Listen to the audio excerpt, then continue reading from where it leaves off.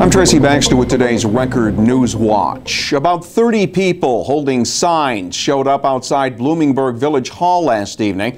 The latest public uh, effort to show their anger and frustration over construction of a highly controversial housing development and what they see as inaction by local, state, and federal agencies. The protest was timed with the latest cancellation of a village board meeting that residents say is the latest effort by the board to duck opponents of the 396 unit development, which is reportedly being marketed to Hasidic Jews. Those who gathered outside Village Hall last night say they feel sold out and are demanding a thorough investigation into the circumstances surrounding the development agreement written letters to the Attorney General. We've written letters to the Inspector General, the Comptroller, Housing and Urban Development. We, uh, we need a say around here. We, uh, we all live here. This all impacts us, and a lot of it's falling on deaf ears. We, uh, we need the Sullivan County District Attorney or the, the Attorney General to come in and, and do an investigation. Everybody knows that there's all sorts of fraud going on, and you know, it's not our job to investigate it. We're not we're not the judge, jury, and, and executioner by any stretch of the imagination. We need uh, we need help from the top. We need help from Albany.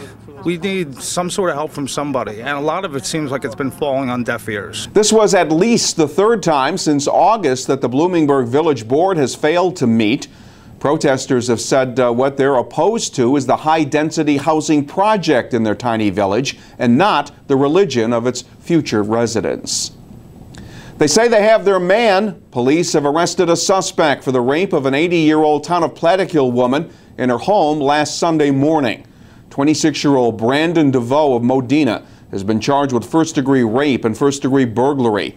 Police say the woman was awakened when uh, DeVoe broke into the Route 32 residence during the early morning hours. State Police Major Patrick Regan says the evidence developed during the investigation of the sexual assault led them to DeVoe. Work in the investigation involved pursuing numerous leads initially and the, the collection of physical evidence at the scene. That developed this subject as a suspect uh, when he was questioned. He made statements that confirmed some of our hypotheses about his presence at the crime scene, and, and we developed a probable cause to arrest him through that evidence and the interview of him the work done by the Plattekill Police, by the Ulster County Sheriff's Office, our cooperation with the District Attorney's Office in Ulster County, uh, it, this is a crime that easily could have gone unsolved for a long time. And, and to bring someone, have someone under arrest as quickly as we did speaks to that level of cooperation and the professionalism of all the agencies involved. The woman was treated and later released from St. Luke's Cornwall Hospital. Regan said the victim knew of her attacker, but that they were not well acquainted. Police say it did not appear anything was taken from the residence. Police in New Windsor are hoping the public can help them identify the man who robbed a local Rite Aid pharmacy at gunpoint Thursday afternoon. Police say the man posed as an employee of a soft drink company and asked the manager of the Windsor Highway store to show him the location of coolers and the product inventory, all the while appearing to write on an official looking clipboard he carried. Once the manager opened the office door, the suspect pulled a handgun and ordered the manager to open the two safes.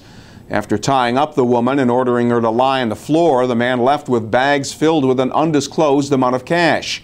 Anyone with information concerning the robbery is asked to call Town of New Windsor Police at 845 565 7000. When Joseph Rodriguez is returned to an Ulster County courtroom in January, He'll face a 25 years to life prison sentence. The 44 year old New Paltz man was convicted late Thursday on a second degree murder charge for the brutal beating of his two year old niece behind his home in June of 2012. Little Asia Perez had been staying at the Rodriguez home with relatives visiting from the Dominican Republic. The verdict came following 10 hours of jury deliberations.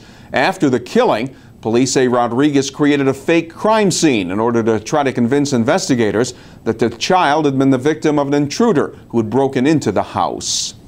In Pike County, a Matamoros man faces a long stretch in prison after a jury convicted him of two knife point robberies in Matamoros back in October 2012. Following the three day trial, the jury returned guilty verdicts against 22 year old Ian Mott on charges that included robbery, recklessly endangering another person, and conspiracy to commit witness intimidation. Mott uh, robbed Smoker's Paradise and weeks later, Karen's Flea Market. Police say following the robberies, Mott tried to get a companion to change his story and get rid of evidence. Kevin Hudson is making it official today. The former Washingtonville mayor formally announcing his plan to seek the state assembly seat to be vacated by Orange County Clerk-elect Annie Rabbitt.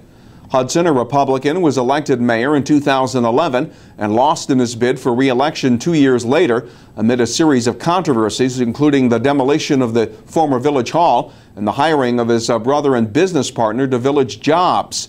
Also vying for the 98th district seat, current Republican Deerpark Town Supervisor Karl Brabenec. No Democrat has yet to come forward. The candidates will be chosen by their political parties. Governor Andrew Cuomo will schedule a special election for early next year. The winner will have to run again for a full term in November. And City of Newburgh officials, along with members of the Greater Newburgh Partnership, gathered this morning to dedicate freedom.